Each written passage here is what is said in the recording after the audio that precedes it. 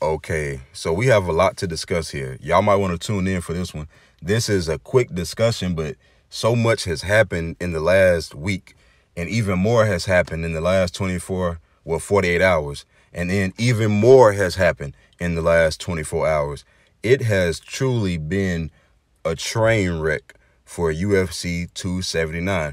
The first part of that train wreck is the fact that it's Khamzat and Nate Diaz stylistically, this fight does not even make sense. It, it just doesn't make sense. Nate historically has been beaten by grapplers at the welterweight division, well, grapplers in general, uh, who can control him.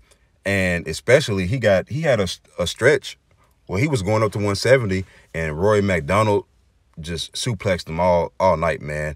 And then uh, Dong Hyun Kim, you know, just kind of tossed him around. And Khamzat is both of those guys, but with you know devastating knockout power for at least two rounds. And so that was the first thing.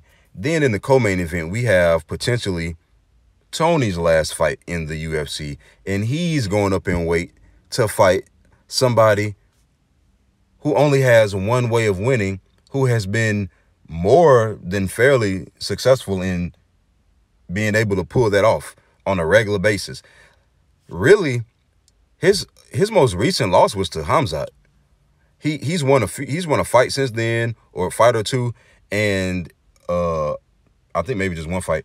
But he won a few before the Khamzat fight. So in reality, he's been doing pretty good.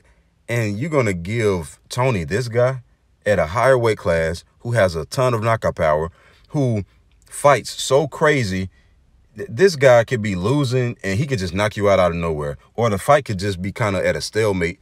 He could just knock you out out of nowhere. Why would you give that fight to Tony, who's coming up from lightweight, when his last fight he was winning or, you know, at least doing better than his previous fights, and then he got knocked out out of nowhere. So that that's just crazy. Luckily, we do have Kevin Holland and Daniel Rodriguez, but I personally, it feels like this fight is the odd duck on this card. This should have been on a on a much better card.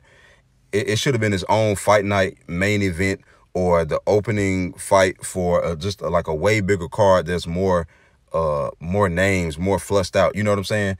But to be the Coco main event on this card, it's just like crazy. And then the whole thing at the weigh-in press conference with everybody fighting. Dana White said, you know, they had to cancel the the press conference because between Hamza, Hamza's team and Nate's team, it was over 100 people.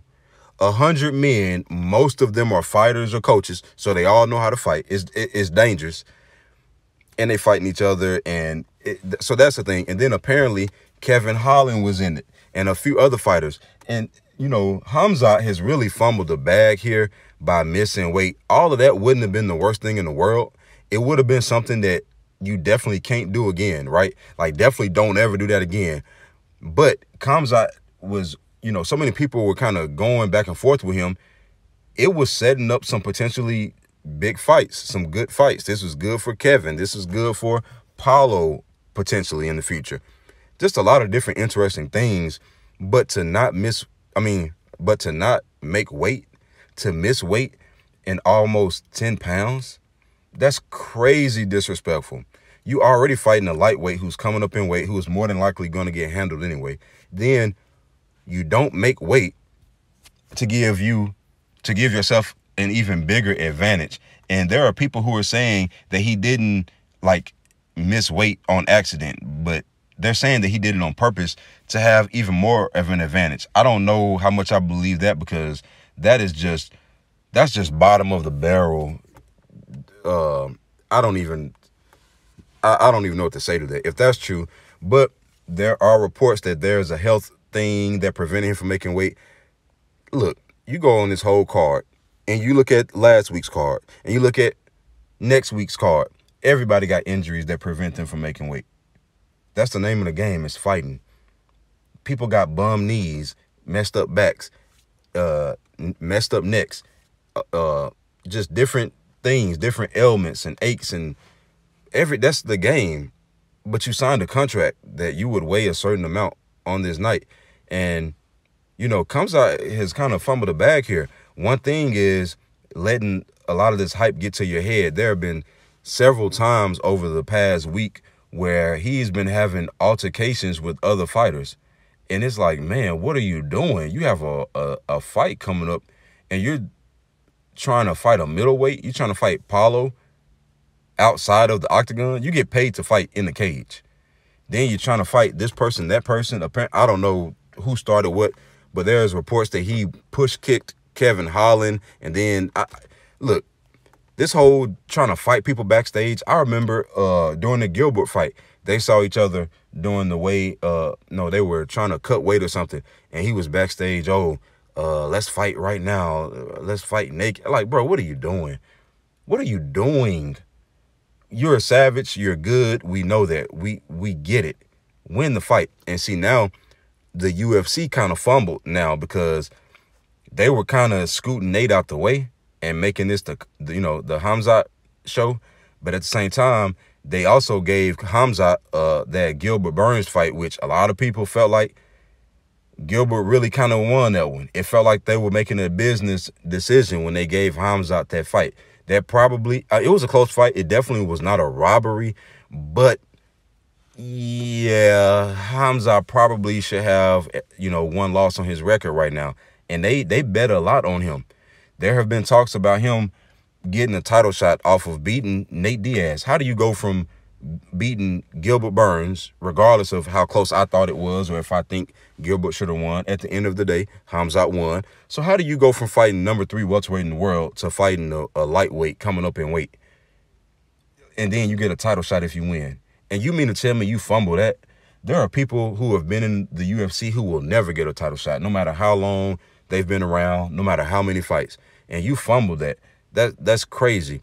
Now, uh, you know, they had pictures of Nate showing when he was at lightweight versus when he was at welter, welterweight, and he was a look he was looking a little bit pudgy.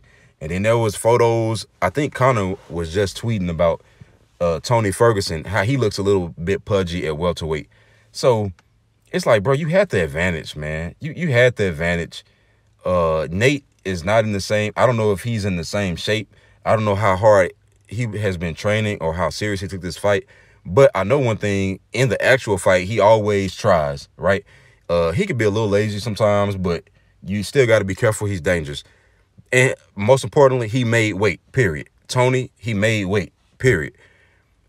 It's, it's just been crazy, man. You fighting, you know, fighting people at restaurants and the hotel and backstage. It's like, look, man, you went from being a potential megastar and getting the winner of Leon and Kamaru to the UFC I, don't know what man. He might be fighting at uh at, at your local high school uh, next time he fight, man. I, I don't know what they gonna do, but man, Khamzat needs to get it on, man. He needs to get his head on straight, get get get focused, man. Yeah, you can have fun, you can talk crazy, you can go back and forth with people, but at the end of the day, you get paid to fight. You don't get paid to fight backstage though. You got to make weight and you got to hit that cage. And you know, this ain't a hating thing, but it's like, look, man, I just watch people go from supporting you and and defending you to now everybody is hoping that Nate literally just chokes you out in one round. That probably won't happen. If it does, that'll be crazy. But come on, man, this is your career. You you know this is something you could be doing for a very long time. That could, I'm sure it already has changed your life and your family's life. You got to take this serious, man. That's not a that's not a joke. You can't just be showing up and now all of a sudden they got all these other fighters that they're trying to get as a backup because this fight might be off. I don't want to say that it is, but it is being reported that they they might be getting somebody else. And I'm seeing people say Tony versus Nate. That's terrible because it was potentially both of their last fights anyway. So it was already going to be like a sad night Saturday. We could have easily saw both of these guys lose. If we were lucky, we see one of them lose more than likely we was going to see both of them lose. Now, we for sure will see one of them lose if they fight each other. And it's just, that's such a bad shake because I don't want to see Nate like lose on his last fight. And I don't want to see Tony get beat for what, the upteenth time in a row. You know, I kind of want to see both of these guys go, you know, ride off into the sunset if they can. And I, th this is crazy. But it's like a train wreck. You can't look away from it. You gotta watch it. So we'll see what happens next, and I'll maybe report on something. But y'all, let me know what you think. Give me your feedback. It's a lot of crazy stuff. If y'all are betting on these fights, I, I don't know what y'all are doing. I like I don't know what the the the plan is now. If you put money on Khamzat already, because I'm sure the odds have changed like crazy uh, after what's going on and what's transpired. And, and, and you know it's crazy? Him missing weight, he didn't miss weight because of well, we don't know.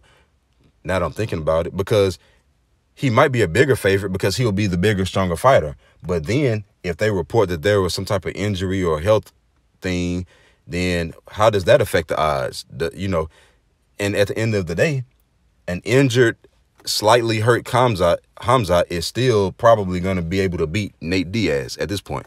And I just realized Nate was 37, man. I'm still thinking Nate, I'm still thinking about the same dude from the Ultimate Fighter, but it's been a long time. It's been a, a long career, uh, a successful and interesting one as well.